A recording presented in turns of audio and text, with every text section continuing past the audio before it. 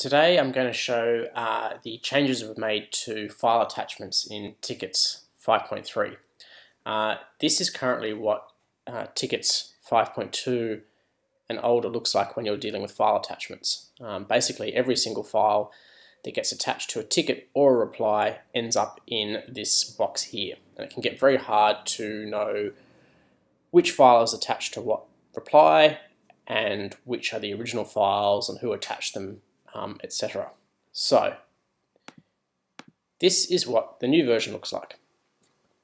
When you create a ticket, all the file attachments are shown below.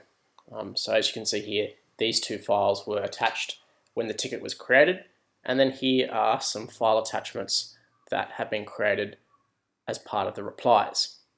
Now, one thing we've found with other ticketing systems is it can sometimes be hard to find, go back and find a file. So we've got a few sort of things we've built in.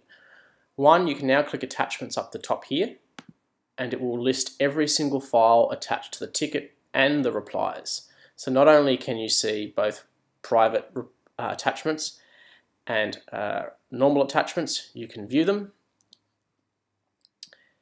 you can see who uploaded them, the size, you can click here to download them when they're added, and we've built in this new live search feature so you can start typing in the name or a person or a file size even if you wanted to um, to do a search.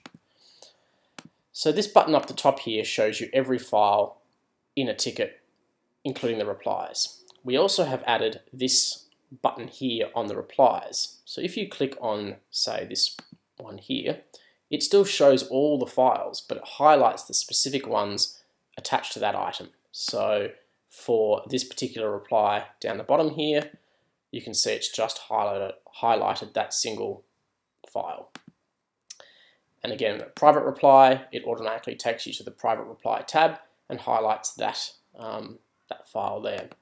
So it's much easier now to see who's uploaded a file, where the files come from, and the live search feature is really useful if you're after a specific file. Uh, so yeah, it's much easier now to see the files per, per reply, but also view every single file attached to a ticket by clicking this button. I think this will be a pretty popular feature. Catch up soon.